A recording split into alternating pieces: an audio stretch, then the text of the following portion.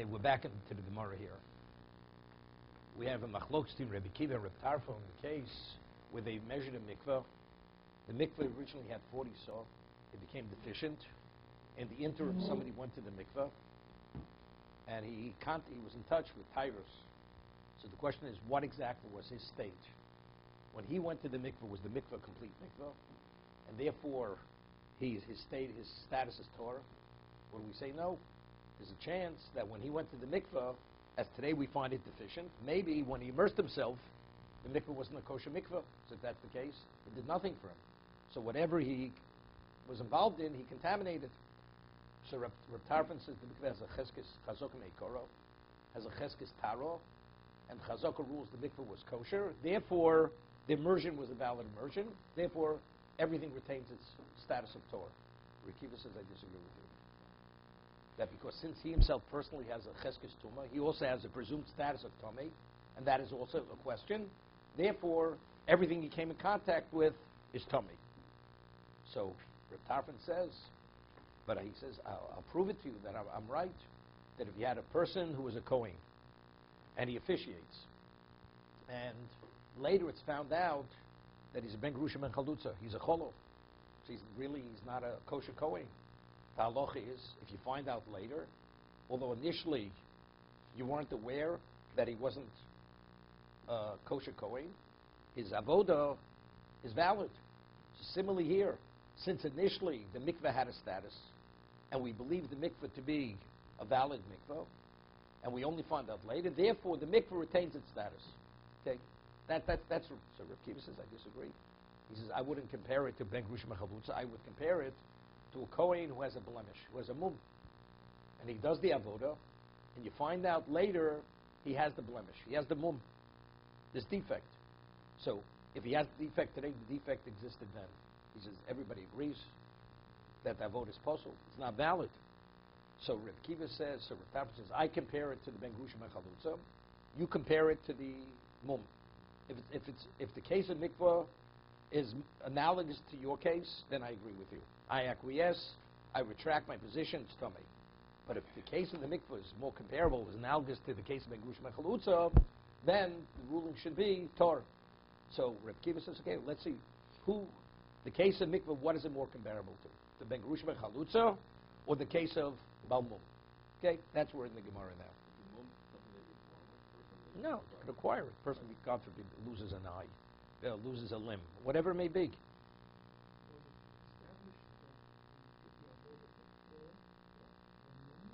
No, before we became aware, before we became aware that he had a mum.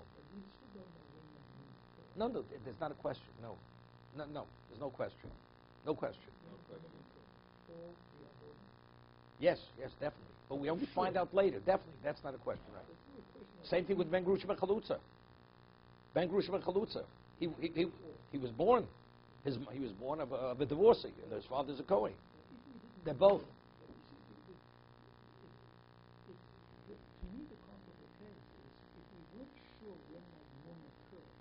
Even Reb Kiva would agree. Even Reb Kiva. No, it's better than the mikveh. It's better than the mikveh. It's better than the mikveh. That would be the case of the virgin. When did she lose her virginity? Right? Reb Kiva is only disagreeing because the person has a cheskes tumah. Mm-hmm. Because you also have a presumed status of tummy. So why are you favoring the presumed status of the mikveh that it's kosher? What about his presumed status that he's tummy initially? Here the man was born not. A, let's say we know factually he was born. He wasn't. He wasn't handicapped. Didn't have any any deficient physical defects. Now later we find it. We have when did it happen? When did it occur? Definitely, go if the Chazal say it happened after the avodah, after he officiated. Therefore, when he officiated, he wasn't a balmum. Would not disagree. There, there's no question avodah is, is valid. It's a valid avodah. That case, everybody would agree it's kosher. It's a valid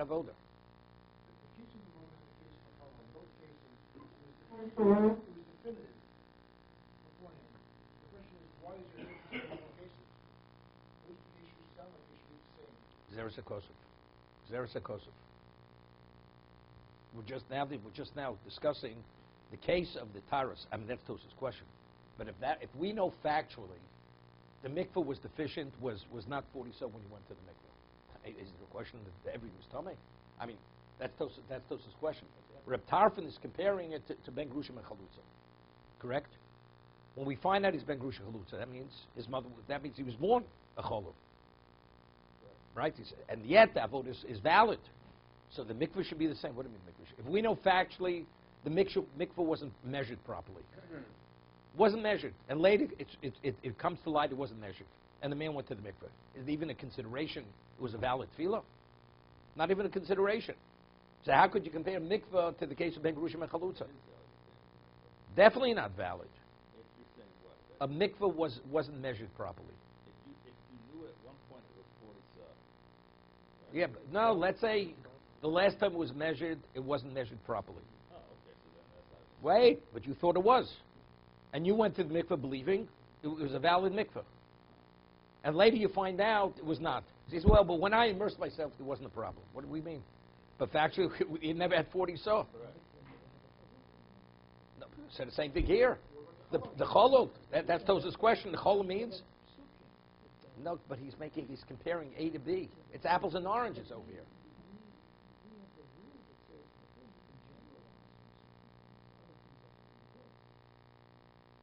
Again, Reb is saying, just as there it, it, we you follow, you say it's valid because you weren't aware. The same thing should be true by mikvah. Th- that's that's what Reb Tarfon is saying. We're not generalizing it. It's not generalization. It's, the cases are not comparable. Here, even though factually he was not a qualified Kohen, but since we weren't aware of it, Xeris HaKosov, his avot is, valid. That's Xeris HaKosov. Okay, good. But let's say factually the mikveh, when he immersed himself, did not have 40 so. Factually, but I wasn't aware of it. Later comes to light, factually did not have. It, could, you tell me it's a valid uh, uh, tevilah? It's not valid. He's Tommy. Like, is he Tommy today or is he to- Tor? It's definitely Tommy. He never immersed himself in a, in a valid mikveh. So therefore, they're, they're comparable. That, that's Tosa's question. Are they both Xeris? Both Xeris Mum Hak- and- and Mum? Yes, they're both Xerisakosas. That the mum, that to differentiate between the two of them. In every case, you have to figure out which one of those two cases is more comparable? Well, seemingly, then they're not comparable whatsoever, right? Because everybody would agree. Let, let's say they measured it's not it's deficient, and a third party wasn't aware of this fact that they measured it again. It wasn't. He went to the mikveh, and later you inform me because, by the way, you know we measured it when you went in. It definitely didn't have 40 so. He says, well, but I wasn't aware of it. Doesn't make a difference whether you were or not. You, you factually with told and mikveh that didn't have 40 sots. It's not a mikveh. So he's still definitely his tummy. So if that's the fact, so what are you comparing this to Ben Grusha Ben Chalutza? Has no relevance to Ben Grusha Ben Chalutza. Why? Because there's this Gzer Sakosov. That if, if you're unaware when he does the avoda, and it comes to light later, the avoda is valid. Gzer Sakosov. That's the exception. Yeah, a person eats non-kosher meat.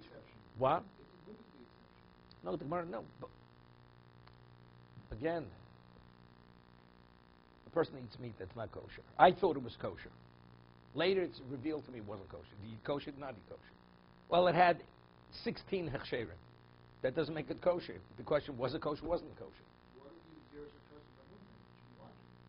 No, because you would think maybe mum should be similar to. Maybe regarding regarding avoda in the Beis Hamikdash, maybe something that comes to light later should not disqualify the Kohen. The Kohen's avoda. Maybe I should draw an analogy from uh, from Bagrush Ben Chalutza because that has to do with avoda. The answer is no. That is the exception. That is, and mum, factually, if he wasn't qualified, he wasn't qualified. With the differentiate between the mum disqualification and Ben Grusha disqualification. Mom gonna be invalid. Invalid, definitely invalid. Okay, so we'll see. So now they, they're discussing what is the case of mikvah. We'll, we'll see Tosis more comparable to. Is it more comparable to A or is it more comparable to B? So Rabbi Kiva says this is comparable to the case of mum, and therefore, therefore the tevilah is not. The tevilah is not a valid tevilah. Okay, so let's see. Rava is quoting all this to prove his point that when an Eid comes and says, Zin so ishtcha, that your wife committed adultery, and he remains silent, it means nothing. Right? That's what we're getting involved in all this. and it has to do with the dialogue between Reb Kiva and Reb Tarfon to differentiate between the cases. Is it more comparable to A or is it more comparable to B? Okay? Om Reb Tarfon ato di miso le balmum. Reb Tarfon says you compare the case of mikvah to the balmum. Vani di miso ben grushim and chalutza. And I compare it to ben grushim and chalutza. And therefore, the taros are what are not contaminated. Nira lemi dome. Idome ben grusha ben chalutza. Nidonenu ben grusha ben chalutza. If it's comparable to ben grusha, then we'll give it the same status ben grusha ben chalutza, and that means that things they're not contaminated. Im dome le balmum, nidonenu le balmum. Hiskul Rebbe Akiva lodun. So He begins deliberating over here. Mikvah psulo biyochid. Okay? Let's say Neid Echad comes and says the mikvah is possible. Do you believe him? You believe him? Eid- Eid- Rach- Eid eh, Echad ben You have a question. Is the mikvah kosher, not kosher? Mikvah says this mikvah is not kosher. You believe him? What? Psulo. Its invalidation comes through the testimony. Comes to testimony of an individual, single witness.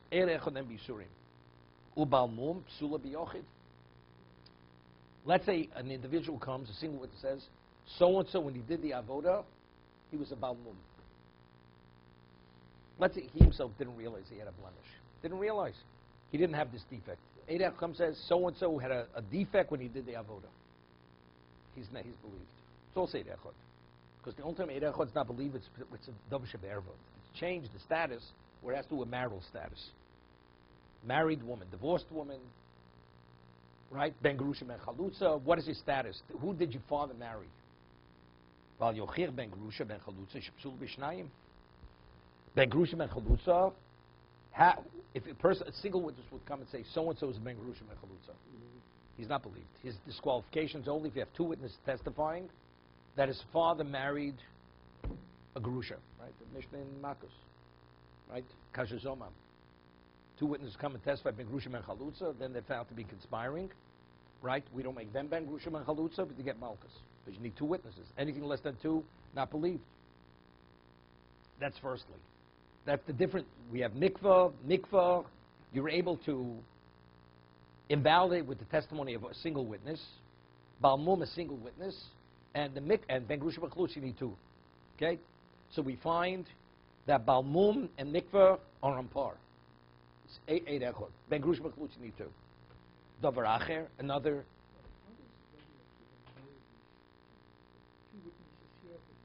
Of course, it's Davar Sheberva. Of course, one has with marital status. Who, the, which woman did his father marry?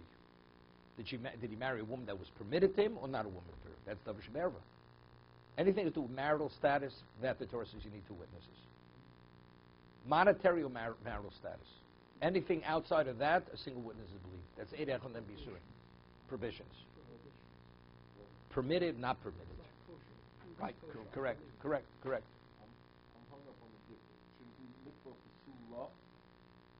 No. No, no. Okay, okay. You got to speak to to uh, Moshe. He took dikduk in sixth grade. Okay, okay. I'm only joking. Okay, psulo. No. I was wondering, should it be psula? Uh, I'm not. Mikvah psula. Psulo begufo. Okay, also it's difficult. We should say begufo. Balmum psulo. Wait a minute. Davar acher. Mikvah psulo begufo. Now, why is what invalidates the mikvah? Of course, there's a deficiency in the mikvah itself. Correct. Balmum psulo begufo. Why is he disqualified? Because he has in his in his physical being he has a defect. Ben ben chalutza. Ben ben ben chalutza. What is the basis of the disqualification? Is there something inherent in him, or it's something which preceded him? It's how he came about. Because his father married a woman who was a grusha who wasn't really permitted him. So that's psula b'acherim. So we find this common ground on two levels. Eirech and then bisurim for mikvah to, disqualify, invalidate the mikvah, and to, to disqualify the kohen. That's eirech. Mikvah ben grush machli need two. In addition, One is inherent in the person. The it's a defect in the mikvah. It's a defect in the person, deficient. The other is me'achevim. Therefore, if you're going to compare it, the case of mikvah is more comparable to the balmum and not to the ben grushim and chalutza. Omale Reb Tarfon, Akiva.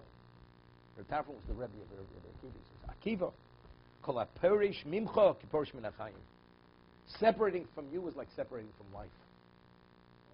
This is what he says to, to Rabbi Akiva. Okay?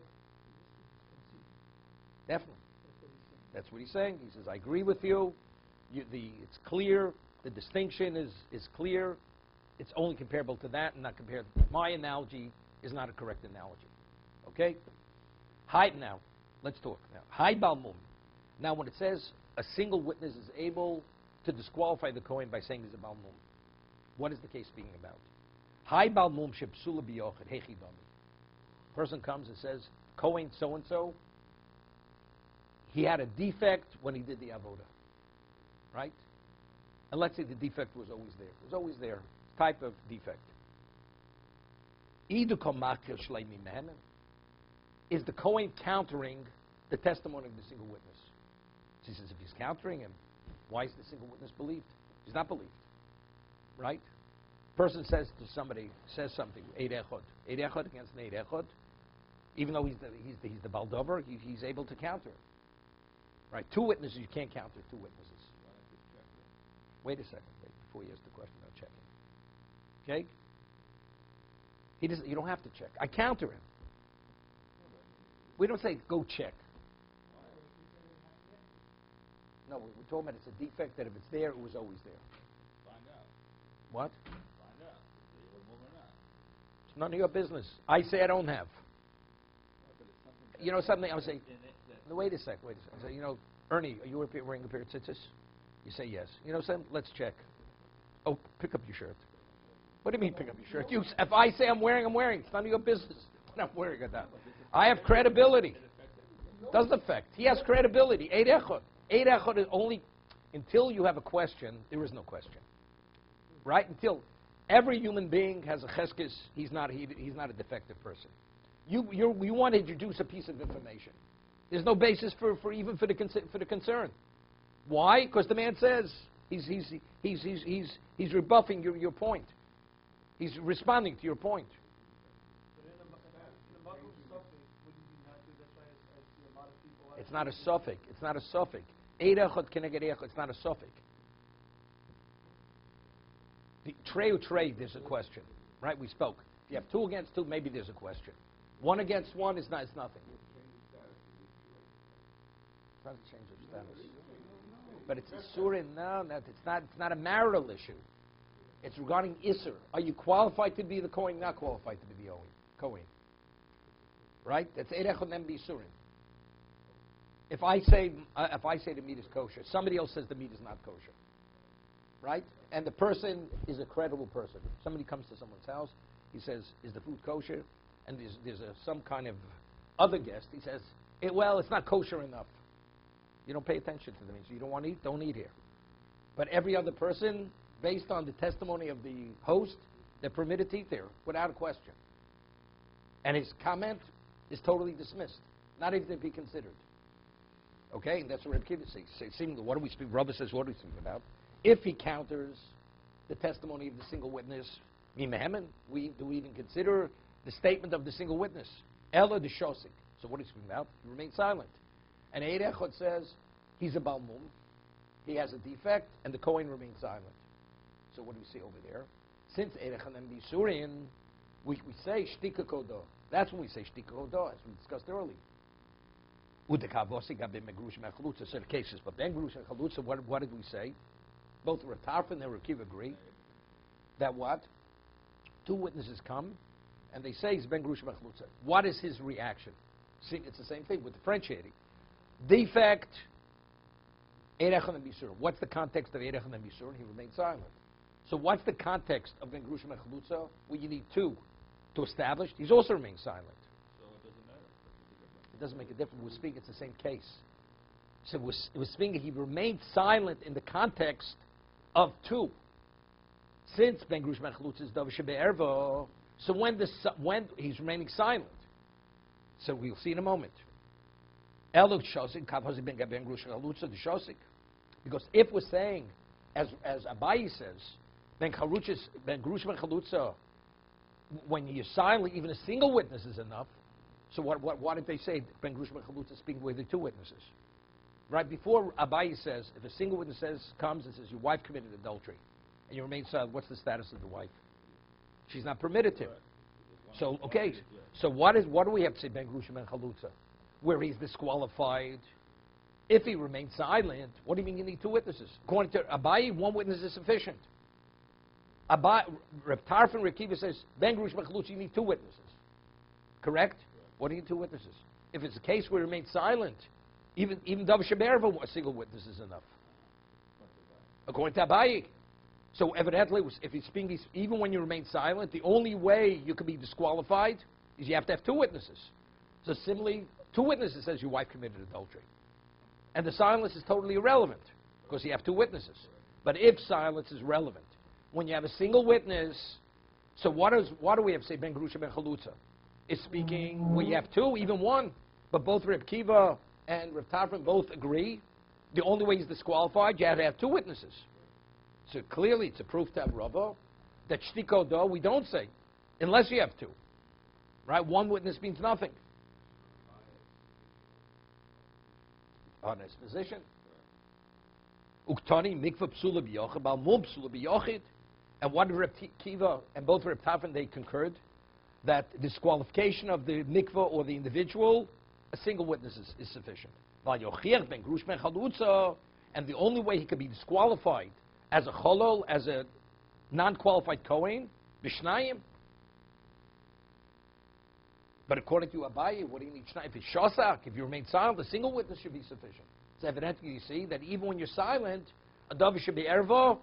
We, we don't give any credibility to the statement of the single witness. Okay? So how does re- respond? Okay, this is what Ernie said. Okay? Will olam factually, the person, the Kohen is countering the testimony of the single witness, countering it. With the comment that my Mehemet, so you say, we, we, we don't give any credibility to the statement of the Eid Echad if you counter him. If I say the meat is kosher and Eid Echad says it's not kosher, you to- totally ignore the statement, the testimony of the Eid Echad, correct? By meat. So that's, that's what we went on. If it's Eid Echad and Bisurin, we shouldn't even consider the statement of the other Kohen, of the other of the single witness. So Rabbi says, no, this is different. You know what the Kohen says? Remove my clothing and that'll prove the case. Because this is verifiable. If the meat is kosher or not, there's no way to verify that. I say the meat is kosher, you say it's not kosher. Okay? It's not verifiable. Therefore, we don't give any, any credibility to the statement of the of, the Eid Echad if he's counted by the other party. Right? He rejects what he says. If it's irresolvable, but here you can. You could, you, you could, could actually verify the fact.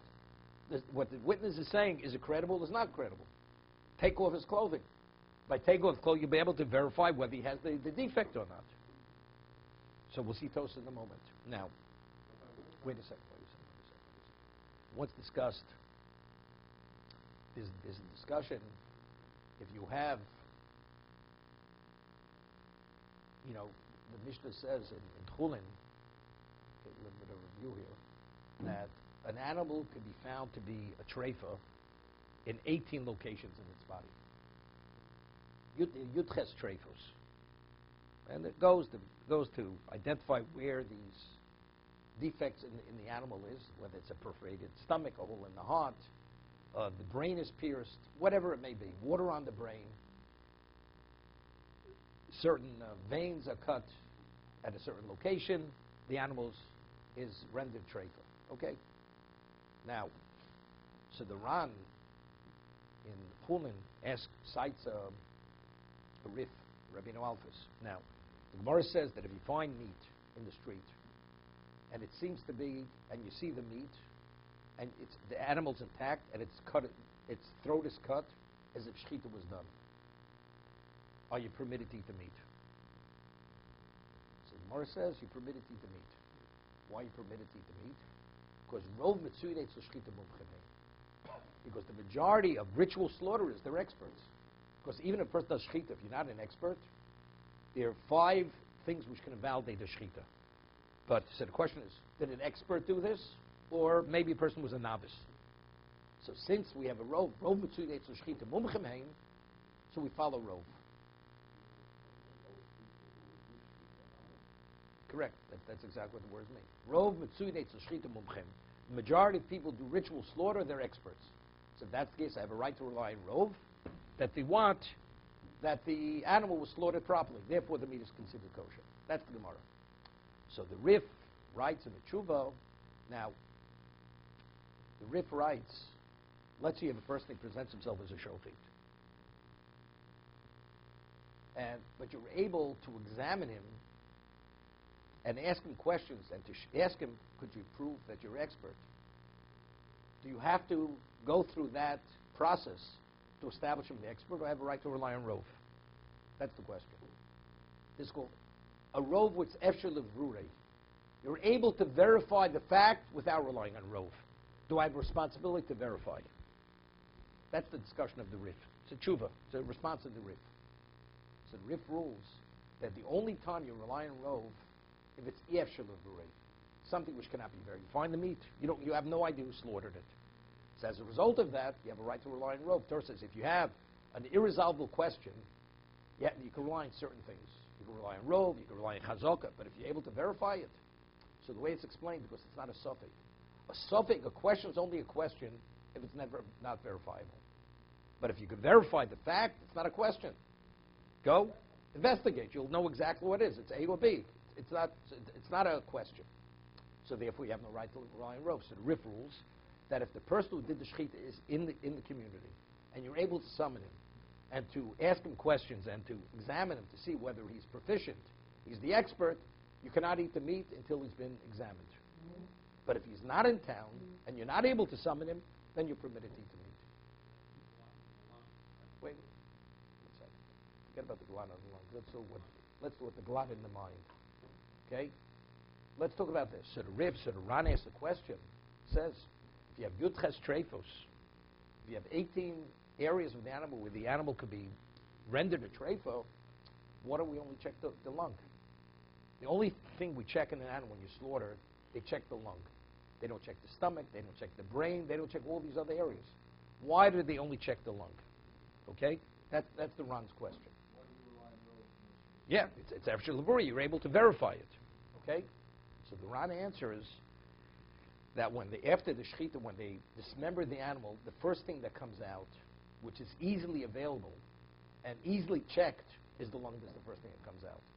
So because it's immediately available to be checked, so not checking it's like turning turning a blind eye. But the other areas which are so difficult to check, we don't classify that as verifiable. That's that's the Ran's differentiation. The lung, which can easily be, be verified because it's right before you, it's like you're just turning a blind eye on it. So uh, it's before you. Just look, and you'll see whether it is or whether it's not, whether it has the perforation or not. The other area is much more complicated, that's not cla- classified as efshe laburi. The same because by the time you get it out, it might have been nicked by something else, or you don't know what it was at the time of the No, no, no. just that it's hard to do. Because of the level of difficulty, you have no, you don't have to turn mountains to, to verify. But the Torah says that's sufficient. That's sufficient to consider it a safek. Something which is before your eye, you just have to look. That's not a safek. But something where you have to make an effort to, make the determination, that could, that's sufficient to be classified as a safek. And Torah says if it is a bona fide safek, you have a right to rely on rov or chazaka. That's that's that's the Ran. That's how the Ran differentiates between checking the lung and checking the, checking the other areas of the animal. Okay, that's th- that. Okay. So now we have. It's interesting. The um, we had a case. Now there's a question. The Gemara says a chulin that if you have um, meat milk falling to a meat pot. So if you have shishim, you have 60 in the volume of the meat versus the droplet of milk that falls on the meat, you're permitted to eat the meat. It's cooking in a pot. Tipas chosh al chatichas basar. Right? That's it's a mishnah. A drop. This this this case we're talking about. years ago, there was a certain person who used to attend Yad Avram, passed away, be in his 90s today. So before the war, he learned yeshiva. So whenever we, we and we learn Chulin then, so tipas chol shnaf lachatichas bas. He says, "No, that was my bar mitzvah drasha." That's what he used to say. Okay, so the Mishnah says if you have a piece, a droplet of milk that falls on a piece of meat, if the shishim, if there's, there's a ratio of 60 to one, you're permitted to eat the meat. But if it's less, you're not permitted to eat. So the Mechaber, the Shulchan Aruch speaks about a case. So the Gemara speaks about a case. Let's say you're not sure. You're not sure if they're 60 or not 60. And what, what do you need 60? Let's say the ratio is 40 to 1. It's possible 40 to 1. Maybe you won't taste the milk in the meat. See, 60 is the level of dilution, there's no question. You will not taste the milk in the meat. But it's possible less. So if you, this is the way Rashi learns. So you, what do you do? You get a kfela. You get an expert taster, person who has professional taste buds, and you ask him, could you please taste the meat? And he has to be a goy. Of course he has to be a goy. Good. Very good. He has to be a non-Jew. Still have to come tomorrow. No. So he has to, he has to be a non-Jew. So the question is, no, a, a, a non-Jew has no, no belief. You don't, you don't rely on him, but it says, it's called timas kfela. You ask a kfela, this expert tasted, tasted, if he tell, tells you, and you ask him in a way where he doesn't know what, why you're asking him, for halachic reasons, he says, by the way, it tastes off. Does it taste off or not? It says taste perfect. Otherwise, he would tell you it, it has a certain taste of milk. He would say something. If he doesn't say that, you're permitted to eat it even if it's less than 60 to 1. Okay? That's the, that's the way some. Other Rishon says no. Because even when you have 60 to 1, it's possible, yes, no, whatever it is. But the Mechaber rules like this. We rule Tam Keker. That when you taste something, absorbed in something else, although you can't locate the source of the taste, the taste is the equivalent of the essence of the Isser. Right? So the Mechaber, and the Mechaber says, normally you have to have shishim. Let's say you have chaylev, not kosher fat, mixes into, into a food. So it's called min mino. And you, you, you question where you have, whether you have shishim. What do you do? You ask a goy. You ask a non-Jew to taste it. If he tells you he tastes chaylev, then you're not. If he says he doesn't, then you're permitted. So the Shach and Taz both ask. But Erech and Bisurin is only a Jew. How do we believe a goy? Tom Kik is nis doraiso. Rabbinical, only on a rabbinic law do we rely on a non-Jew. On a Torah law, we don't rely on the testimony of a non-Jew. So how do you rely on the, his tasting? If Tom Kik is doraiso, how do you rely on Timas Kfela on the tasting of the, of the expert non-Jew if he has no credibility whatsoever? So that's the Shach and Taz, Taz's question. They're the primary commentators on the Shulchan Aruch. They both answer, of course, this is Milsa Davido Shakri. Something which will be revealed, the person doesn't lie. You know, this guy doesn't want to be caught in a lie. He tells it tastes perfect. Doesn't taste chaylev. Doesn't taste from milk. When you eat it, you're going to know whether it tastes from milk, whether you taste the milk or you taste the, the fat. And the non-Jew understands. He's asking because you want to eat it. So if he's going to be caught in a lie, we could say with certainty a man doesn't lie. So it's not his credibility. Of course, he has to be credible that he has professional taste buds. But, but even if he has, maybe he's lying. Maybe he's lying. The answer is no, because we can say with certainty he's not lying, because nobody wants to be caught in a lie, and he has to be caught in a lie. That's milsa avido glui lo shakri yinchi. A person doesn't lie. No, I'm not talking about whatever it is. I'm not getting there. Any human being, any person who has any sense of, of what, of decency, of you want to be seen as, a, as an upright person, he's not going to put, him, put himself in a compromised position. He's definitely going to get caught here, right? Over here. That's what Abai is saying. Wait one second, wait. So Abai is saying over here, the Kohen is countering. He says, if the Kohen counters the Eid Echad, of course we don't give any consideration to the Eid. Mar says, no. You can say, Shlach, remove your garment, we'll, we'll prove it. Right? Normally, what's the basis for Eid Echad and Bisurim? Torah says you believe in Eid Echad. So if the Eid Echad is countered, you dismiss him. But over here, what the Eid Echad is saying, we're able to verify what he's saying, whether it has credi- whether it's credible or not.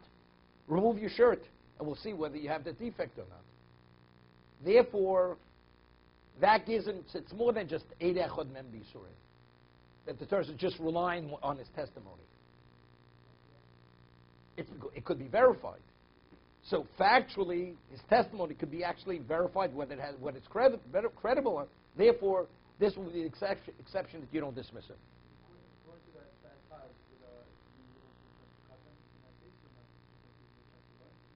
For the same reason.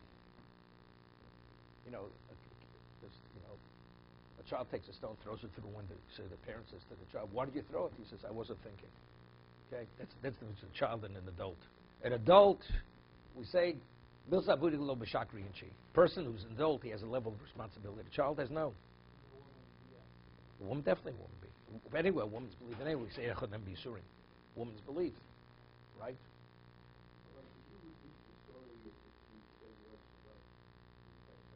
You discuss it with Andrew. He liked that story. You can discuss it with him. Okay. I know the story. It was a story I told over Reb Shmuel Salant. Reb Shmuel Salant. The Mechaber rules that today we rely on Timas Kfela. Even today. Okay? And it has relevance to us. That if you ask a non-Jew to taste whether the, milk, he takes milk or not, we rely. Ramos says today we don't rely on, on the testimony of a non-Jew. Even the expert.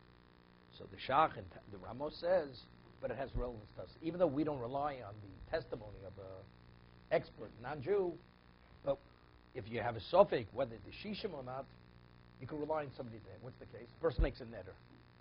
He's not going to eat a certain type of food. And that food now intermingles in other food.